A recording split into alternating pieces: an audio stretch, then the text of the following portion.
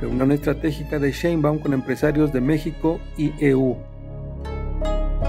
La presidenta Claudia Sheinbaum Pardo participará la próxima semana en una reunión de alto nivel con empresarios de México y Estados Unidos, en la que se abordará el tema de inversión en el país, aspecto fundamental para la economía mexicana, ya que la mayor parte de la inversión extranjera proviene de la Unión Americana. El secretario de Economía, Marcelo Ebrard, encabezará a los empresarios del país y tendrá la responsabilidad de aclarar las dudas de los representantes de las grandes empresas nacionales y estadounidenses respecto de la reforma del Poder Judicial. Diversos sectores de Estados Unidos advirtieron acerca de que la propuesta de reforma a ese poder violaba el acuerdo comercial de México, Estados Unidos y Canadá, conocido como TEMEC. Sin embargo, la reforma fue aprobada por el Congreso mexicano y habrá que esperar durante algunos meses la forma en que se aplicará una vez que sea expedida la ley secundaria, donde se tendrán los detalles de la forma en que operará. El encuentro con los grandes inversionistas de ambos países, en el que participará la mandataria mexicana, será de gran importancia para que en el arranque de su administración transmita confianza a los capitales